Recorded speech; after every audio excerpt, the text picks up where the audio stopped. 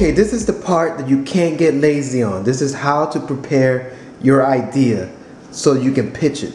Now, a lot of people skip this part and they don't do this right. And you have to take the time to make sure that your idea is prepared.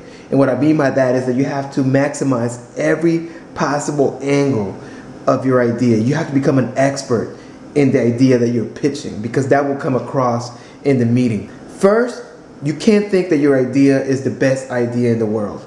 It might be, but you can't think that way. Why? Because there are many ideas in the world. Everyone has an idea, everyone has a million ideas.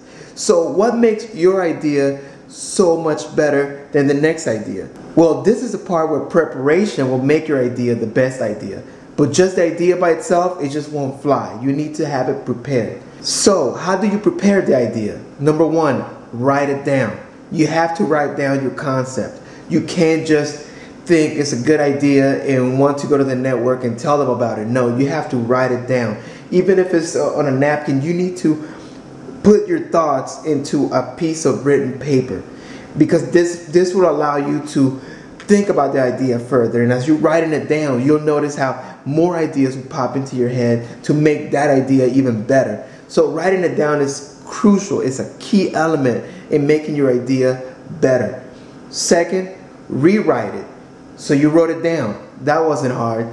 Now rewriting is the most difficult part of making your idea a, a sellable idea. Why? Because this is where your research will come into play. You need to become an expert on that idea. You need to know everything you can about the subject that you are pitching. You need concrete, relevant information that will make your idea a sellable idea. What I mean by a sellable idea, it means an idea that the networks can look at and say, wow, we can sell this. You know why? Because after you're done with your idea and you sell it to the networks, they need to turn around and sell it to other people within the network and they need to sell that to advertisers. So if you do all the groundwork and you do all the research and you make your idea a very sellable idea, trust me, the networks will be a lot more interested than if you just have a random idea or a random thought that they will have to put work into.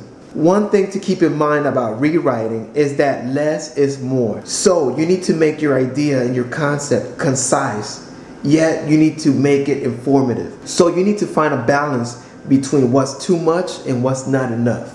So that balance means that you're given enough information for them to be able to get the idea, but not too much information uh, that could lead you into confusing them or maybe making your idea a little too complicated. Basically, you need to make it simple, still giving enough information for your idea to be concrete. The last part that you need to do when preparing your idea is you need to show your idea. You're selling a TV show.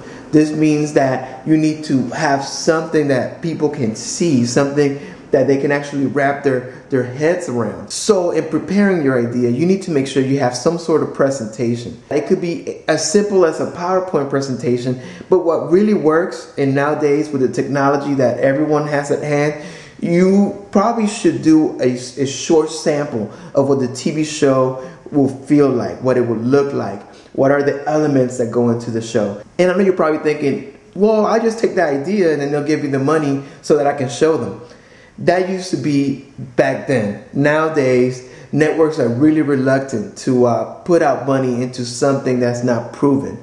So if you don't have 12 million views on YouTube and you're like a, a, internet sensation, then most likely you're going to have to show them something, some kind of range of what the idea is about. So if you're thinking, well, I don't have enough money to put together this production, then you need to figure it out. You need to find a way to get the money. Your credit cards, mortgage your house, you need to borrow money. And what I mean by that, if you really believe in your idea, then you will invest in your idea. If you if you don't want to put money into your own idea, then what makes you think that the network's going to want to put money into your own idea? You need to really figure out if this is something that you believe in. And if it's something you believe in, then you got to look for the resources to make something happen. You cannot rely on other people investing in you. You first need to invest in yourself so that other people will invest in you as well. And again, why would a network take a risk on someone that's not willing to risk on themselves? You need to show the network that you are committed, that you are willing to do whatever it takes to make your show successful. And you do this by showing them something, something, anything. You need to come in there with something prepared. A lot more than words in a piece of paper. You need something that represents your idea as a TV show. To wrap it up, the key points of preparing your idea, you need to write it, you need to rewrite it, and you need to show it. And you go into that meeting with all those elements together. Preparing your idea and writing down your concept and showing it will give you the confidence to go into the meeting as if you really did your homework because you need to come across as a professional in order for people to believe in you.